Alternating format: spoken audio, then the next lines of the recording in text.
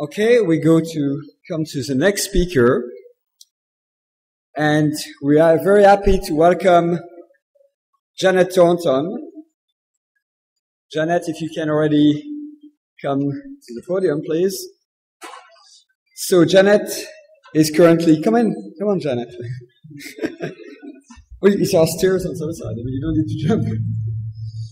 Janet is at the European Bioinformatics Institute, and in fact, she will speak twice during this meeting. Once today for showing what she's doing now in terms of her scientific work she's carrying out, and one as a director of the EBI. So I won't speak at all, introduce her as the director of the EBI now, but basically on all of the work she has done around protein structure, and she has been, I would say, involved in all aspects of 3D structure prediction, analysis, and creation of database in the long, I mean, career she had publishing so many different papers on those different aspects.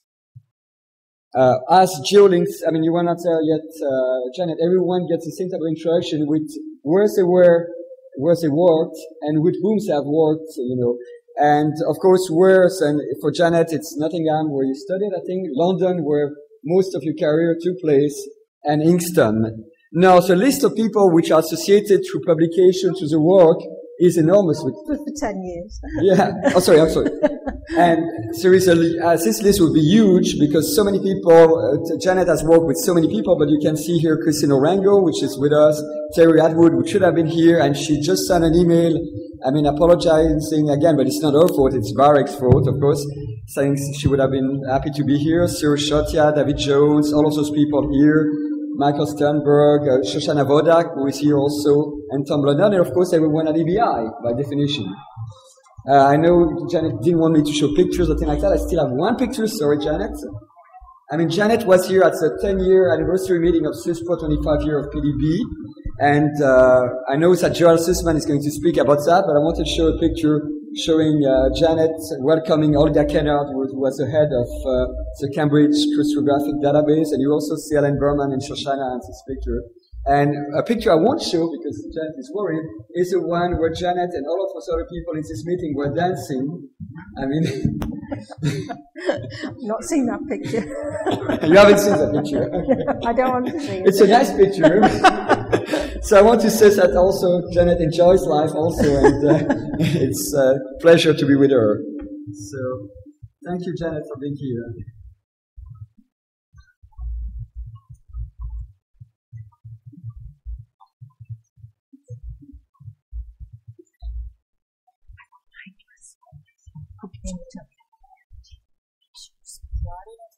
I'll, I'll try. Um, so I hope you can hear me. No, I've got. I'm I'm wired up. Um, can can you hear me at the back? Yes, it's okay, is it? So it, it's a great pleasure for me to be here uh, for the 20 year celebration of SwissProt. Um, obviously, my interest for many years has been in proteins and, and, and the SwissProt effort in gathering together the information, both in Amos's at the SIB and at the EBI, is, is a huge, huge effort that we've all benefited from. And it's really an honour and a privilege for me to be here for this 20th uh, anniversary. Um, but today, I'm going to talk. Actually, that's mine. Sorry. it's all right. I don't need this. Sorry. Um, I, am going to talk about um, a new thing that we've been doing in my research group. And it's quite different from Swiss model and from the other things because it's really almost the birth of a new effort rather than describing something that's been going on for the last 10 or 20 years. And it's to do with looking at enzyme reaction mechanisms. And it's very much based on structure. And I'll tell you how far we've got with it, but it really is just, I think, the beginning. And it's something that's done uh, just in my, my research group. Um, as you know, enzymes are really very, very important uh, parts of, of, of, the genome. We can see if we look in the, in the uh, UniProt database that we, we've got almost 40% of the proteins in there are annotated with EC numbers, which means that they're enzymes. And in, in the PDB, for the structural data, we have even more, a larger fraction of enzymes. Almost 45% of the structures that we know correspond to enzymes. And if we look at the pathway database, obviously many of the pathways, both the metabolic and the signaling pathways, involve enzymes. We also know that as, as organisms evolve, they increase their numbers of enzymes. As they get more complex, as we get larger proteomes, we end up with more enzymes. And in fact, if you look at the bacterial enzymes at the bottom of this, uh, hang on, if we look here, these are the bacteria, so we're plotting the number of enzymes against the size of the proteome. There's a remarkable correlation, the correlation coefficient's about 0.98 between the number of enzymes and the size of the proteome. So as these bacterial genomes get larger, the number of enzymes in them correspondingly increase. When we look at, and when this is Shiri Freilich's work, when we look at the higher organisms, they have a smaller fraction of enzymes because the number of um, signalers and cell-cell communication, etc., has increased. So the fraction there is, has decreased. But clearly, as we evolve new organisms and more complexities, then similarly the enzyme complement of an organism changes. And in fact, you can plot also not just how many enzymes, but also the number of different reactions that they perform. So how many different sorts of reactions are there in different organisms? And as you increase the number of enzymes, do you get new reactions or the old reactions? And so you can do that by counting EC numbers at one level. That's an approximation. And you can see here that as the number of enzymes grows, the number of reactions that they can that they can um, catalyze also increases. So we get more and varied enzymes here. And you can see that some sorts of enzymes, like the transferases, have increased, have, has, have the hydrolases, whereas others, like the lyases in the uh, higher organisms, there aren't so many increase in those sorts of enzymes. In addition, of course, as organisms get more complicated, their pathways get more complicated. And we can see here the, the pathways for the sterol pathways and the yellow blocks. This is obviously from the KEGG database. You can see that some parts of these pathways are universal and they're more or less in all organisms. Others are just in metazoa, metazoans in the blue, and others still have only evolved in humans. And so, as organisms again involved, we get more and more different sorts of more complex enzymes, more complex pathways that go with them. So, we have a lot of information about enzymes, but despite that, there's still an awful lot that we don't know.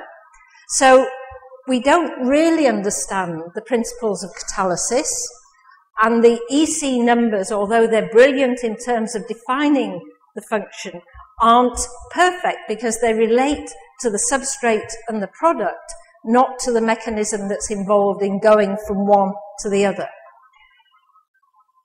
Enzymes and their evolution is a very interesting area that I've looked at with Christine Orengo and many other people, um, but it, it's still a lot to be answered. How do enzymes evolve?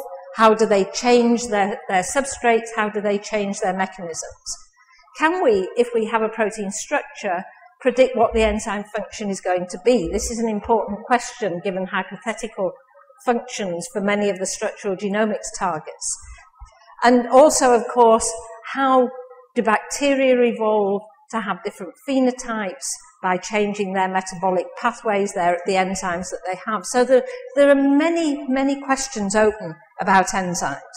And so many years ago, we decided that we would begin to look in more detail at enzymes, mainly because there were so many in the PDB, I guess. And so we, we felt that the first thing we needed to do was to get information about the active sites, where they were in these enzymes. And that led us to ask what, what we wanted to do was to identify which are the catalytic residues, which are the residues involved in catalysis. And so we needed uh, to define what we meant by a catalytic residue. And this is somewhat arbitrary. The, it's, it's difficult to define absolutely, but we needed at least to be consistent over the way that we looked at all the enzymes. So we require that a catalytic residue should be directly involved in the reaction mechanism, in that it will polarize or alter the pK of a residue or a water molecule that's involved in the reaction, or it could polarize or activate part of the substrate so that it would make a bond more susceptible to cleavage, or it might stabilize a transition state intermediate. So this was, these were the sorts of residues that we would include in our definition of catalytic residues. And from this, we developed what has become the catalytic site atlas. And really, this is very simple. It just gives a protein name, and fundamentally, what was important in here was the, the list of active site residues, the catalytic residues. Here you can see for beta lactamase, serine 70, lysine 73, serine 130, and glutamic acid 16. And we only, we did this, and we've been doing this now for about the last six or seven years by having summer students go through the literature because the only place to find this information is in the literature. You can't, it's not contained within the PDB or within many uh, uh, of the other resources. And so we've painstakingly, painful is, is the word, these summer students, going through, looking usually at four or five different papers, and we only define these residues when we have a good feeling for what the catalytic mechanism is, a, a, a reasonably experimentally validated catalytic mechanism. When we did this the first time, we had 200 enzymes. Um, and one of the first questions we said was, well, is this information available in the PDB or in SwissProt? And what you can see here is that much of this information w- was not available at that stage. This was 2004. And you can see that, in fact, in the CSA, we have additional, compared with SwissProt, whoops, here, we have extra residues. SwissProt have a few others that are in the binding site that we would not consider to be catalytic in the same sense, although obviously involved in binding. Within the PDB, within the structural data, in fact, there was rather poor overlap. Um, and many, often these, the active site residues will include binding sites, residues, not really those involved directly in catalysis. So we feel that this does bring new information that, that's important for us. And over the, follow, the last five years, we've looked at different things, making templates, looking at conformational change, etc. But I'm not going to talk about that today because um, oh, let me um, let me say where we are today with the catalytic site atlas. At the moment, we've got about 700 um, entries. Those are broadly non-homologous entries, so they're not uh, identical. They're, they're approximately that. With these, you can annotate about 15,000 structures within the UniProt system. And obviously, we've done some using these to annotate genomes um, and using the, the UniProt resource to really check. Basically, when you find a homolog, if it changes its catalytic residues, then it's quite likely to have changed its function as well.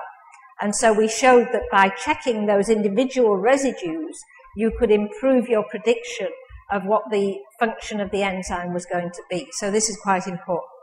So, so far so good.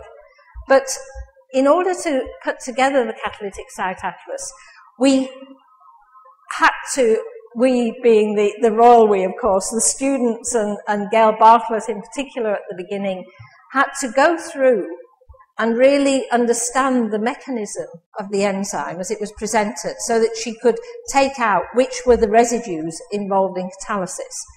But within the CSA, there was no way to store these mechanisms. And in fact, Gail had uh, cards that she'd written down these mechanisms on. And this seemed crazy to me. I thought this is not, we, when Gail leaves, as all students do, we're going to lose all this information. So we started to think about trying to capture that information, how we could capture it for a mechanism within a database.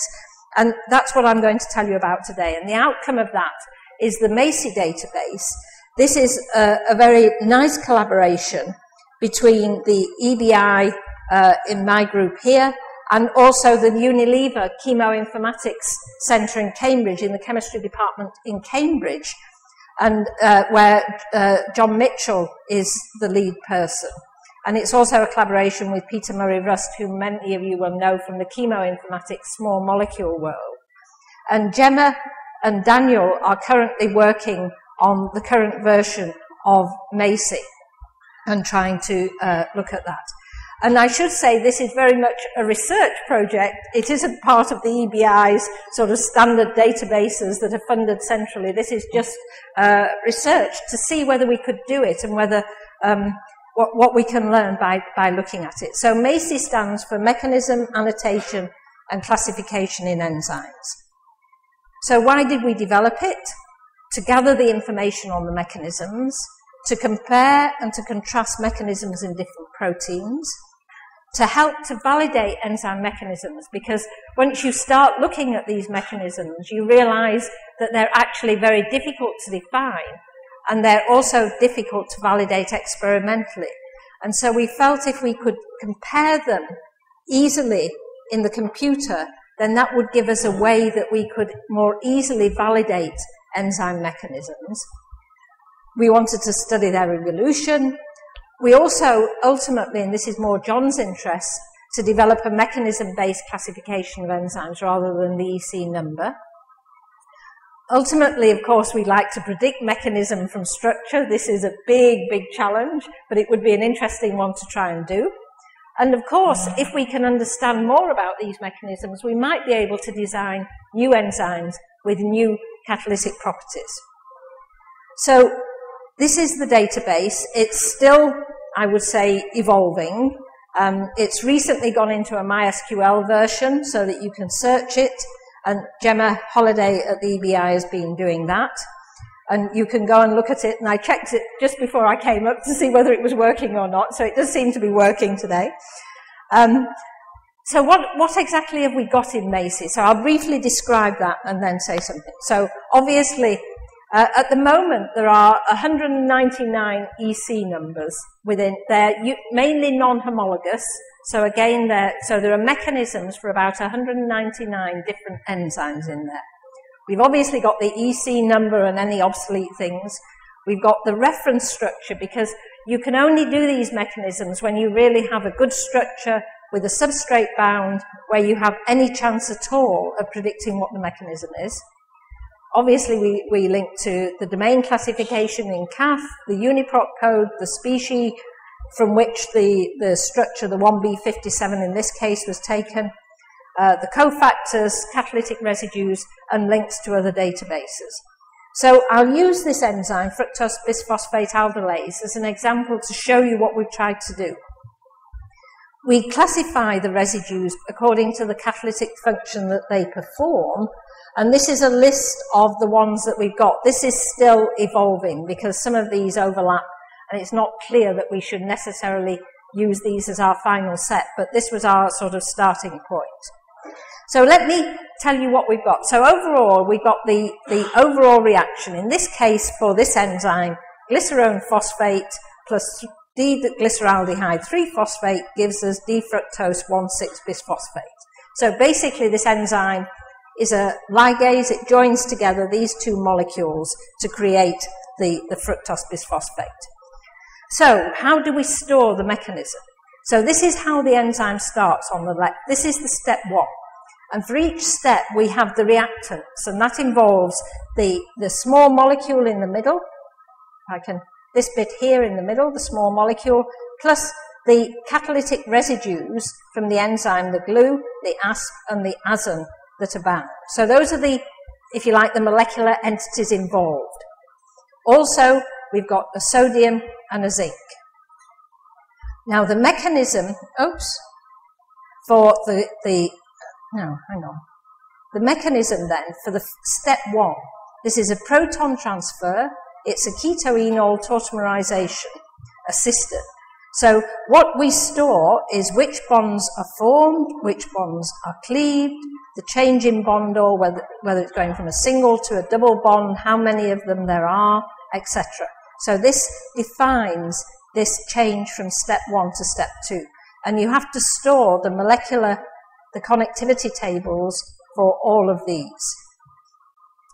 Then the cofactors, the, the sodium and the, uh, the zinc, and then the residues that are involved but on a spectator basis, i.e., they don't change their chemistry, they just look. So in this case, in this first step of the mechanism, we've got uh, this asparagine is a spectator side chain, it's an acceptor and a donor, and it's a transition state stabilizer. We've also got the aspartic acid here is a spectator side chain, and it's a hydrogen bond acceptor. The residues that actually react in this case, it's this, in this first step, is this glutamic acid that whips uh, a hydrogen from the substrate onto the Glu so that it becomes protonated here in this first step. So you can see this is incredibly detailed, complex information. You have to do that for the second step. In this case, this second step is the rate determining step, so that is, is noted. And also for the third step. We also try to always make sure that the enzyme ends up in the state that it started, so it goes in a cycle really as you're going round. And often when you're taking a whole reaction, there are reactions that occur separate from the enzyme and those have to be included. So that in this case, for this enzyme, you end up with the complete reaction mechanism here and then you've got this outside the enzyme, if you like. So that is all stored within the database. So this is what it looks like. So what can you actually do with it? As I say, it's now in, uh, it, it was all done in with XML and CML, and uh, Gemma and Peter Murray Rust worked very hard on, on getting it into a form that that, but then the transfer obviously from, from XML into the MySQL database was fairly straightforward. So what can you query for? And I'll just give it one or two examples. Um, you can query by reaction comments, you can query by the enzyme, you can query by the chemical changes, or you can query by the KEGG or the ChEBI compound ID or compound name. At the moment, you can't query using chemistry tools, uh, but that's hopefully, that's a big, actually that's another big step that we've got to take. But we're hoping to be able to do that going forward. So for example, one of the things I've wanted to know for ages is, well, how many different ways has nature evolved to cleave a carbon-carbon bond? So you can do that. You can go in and you can uh, just ask how many different sorts of carbon-carbon cleavage occur, or how many different ways are there of, um, of adding a sulfur onto a substrate or something like that. So you can make these sorts of queries. And we really are just in the position where we're beginning to start to analyze the data. We've not done a lot of the analysis yet. Um, but one of the very simple things one can do is to look at the frequency of the amino acids along the top and the what does that mean? Five minutes, okay.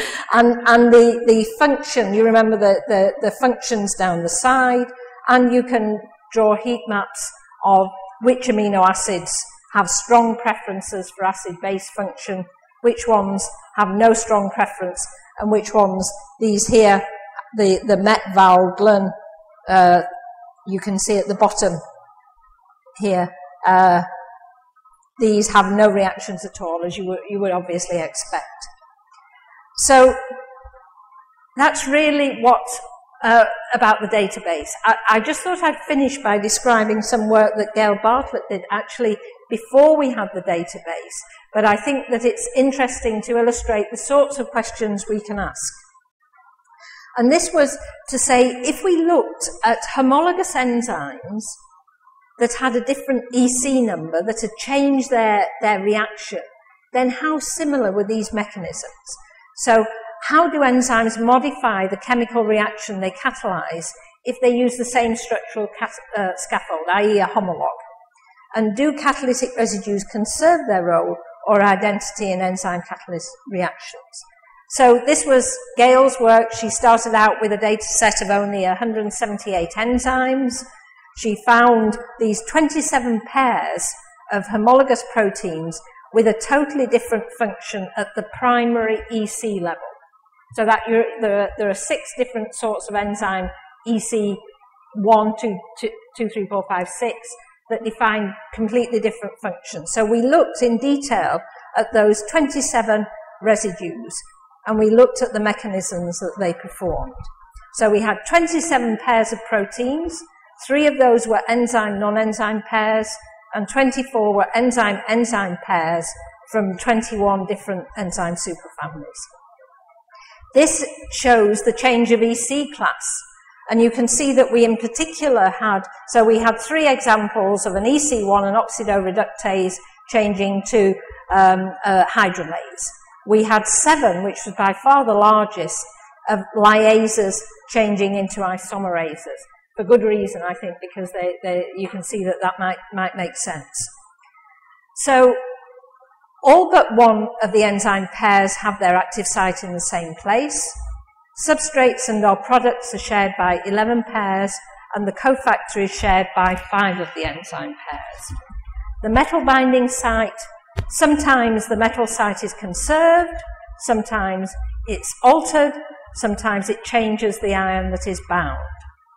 So this just shows one example where in uh, the rubredoxin oxygen oxidoreductases, We've got a diion site that has the ligands on the left, and you can see we've got his Glu asp his asp his, compared with the metallo beta lactamase on the right, the same function, but now that's binding two zincs, and we've seen the Glu change to a his and the asp change to a Cys.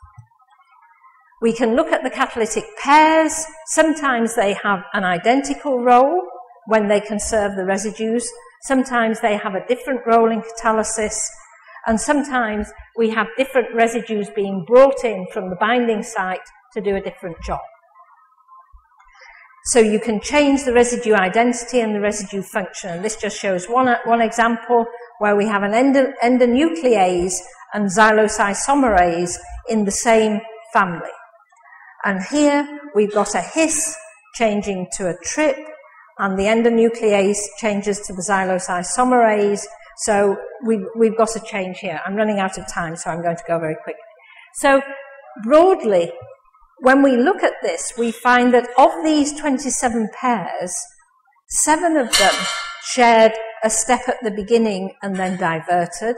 Seven of them started off differently, had the same mechanism in the middle, and then changed at the end. Two of them started the same, went different in the middle, came back to the same, and eight of them had completely and utterly different mechanisms that had evolved presumably independently. Um, I've not got time for that. So the conclusions there then are that the enzymes really are quite nifty. I don't think this doesn't happen very often. I think it's, it's actually quite rare in the vast majority of cases, the mechanisms within families, very, very large families, are absolutely conserved. These are the exceptions rather than the rule. But they're very economical in the way that they use their active site residues and the features.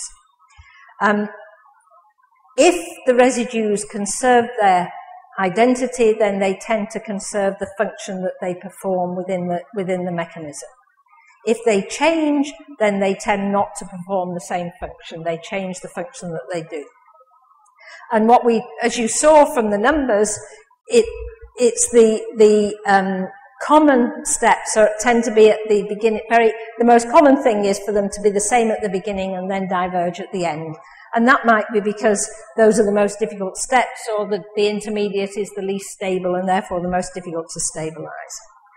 So future as I say, Gemma and Daniel are currently increasing the coverage in MACiE, and we should be, the, ne- the next real release will have 200, which surprisingly covers about 70% of EC space.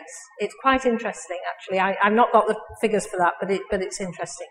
We're analysing them in, in, in Cambridge They've already analysed them from an Ingold reaction perspective and looking at the environments. Obviously, we want to look at the evolution in more detail and then go on to design. So, I really want to acknowledge the people who've been involved in, in this um, quite difficult project in some ways. Gail Bartlett at the beginning, uh, who, who did a lot with Craig Porter and Jonathan Barker to set up the Catalytic Site Atlas. Um, James Torrance, Alex, and Gemma, who've been working, Gemma in particular, on the MACiE database, Alex more on the Catalytic Site Atlas, and James on the 3D templates. The MACiE team at, the, at Cambridge University, John, Daniel, and Peter, and it's really extremely good to have real chemists involved, not, not a physicist like me. I mean, it's absolutely essential. And of course, our funders. And thank you for listening.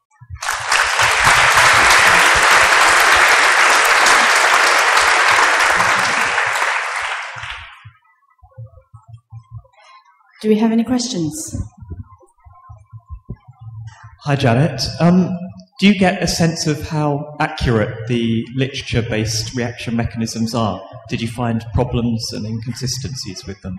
There, there, are certainly problems, and one of the things that, as we've gone farther on, the, the provenance, the experimental validation of the data, I think, are becoming increasingly important. And so we're trying to uh, store that as well as just the, the mechanisms, what it's validated. But one of the reasons for doing this is really, I, I said a little about, about the validation, but my feeling is that just as with proteins, when you compare multiple things, you, you can, you know, obviously with ProCheck and things like that that we did in my lab, it gives you a good way to say whether a structure is a good one or a bad one. What we hope is that if we can gather the data together, we can find a way to at least validate in principle some of the mechanisms and see whether they look reasonable or not in, in a way. There are multiple mechanisms, and one of the things that we've not done at the moment is put in alternative mechanisms. We take the one that looks to be the one that's best supported by the experimental data. But obviously, going forward, it would be very good if we could store alternatives, and also if people solve a new structure, they could suggest a mechanism and ask whether it looks like any of the other mechanisms that are in the database. Cedric? Uh, do, do, you think there is such thing as, as uh, uh, uh an evolutionary tra- trace on the, on the metabolite side uh, just like one may find on the protein side, looking for conserved feature, evolutionary conserved feature at, at the metabolite side. Are we looking at the chemical descriptors and things like that, or are you looking into um, these things? I'm, I'm sure there is. I mean, it's, it's just the, the, the, as we know, the, the, um, the catalytic residues of all residues are the best conserved of everything you know, much better than binding sites or, or anything.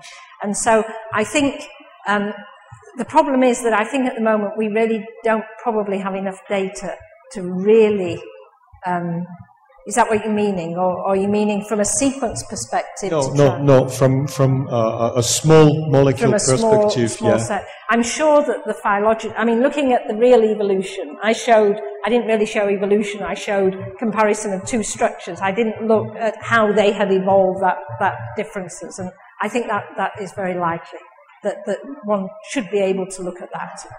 Yeah. Thank you. Anything else? Yeah, here. Joe. Janet? Yeah. I'm curious in the CSA, yeah. how often have you found a second um, obvious catalytic site that the experimentalists didn't see? In some sense, that the protein might be um, doing more than one thing at a different site, or hasn't that been the case? so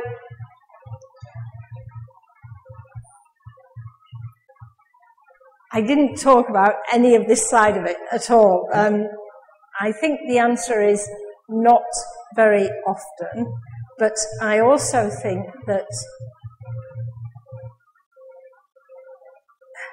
you um, th- this really comes down to the question of how often a catalytic mechanism has recurred multiple times during evolution. That, that's really the basis of the question. So, how often, if you get a catalytic triad, which you, you know recurs in another thing, so catalytic triads, the catalytic triad, is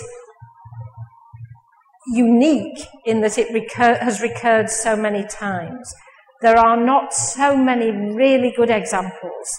There's nothing to compare with the catalytic triad. There are a few, like the, the ASPs in the, the aspartic proteinases, that recur. Um, but I could show you some slides about that, but, but, but it's, it's a, a very interesting question.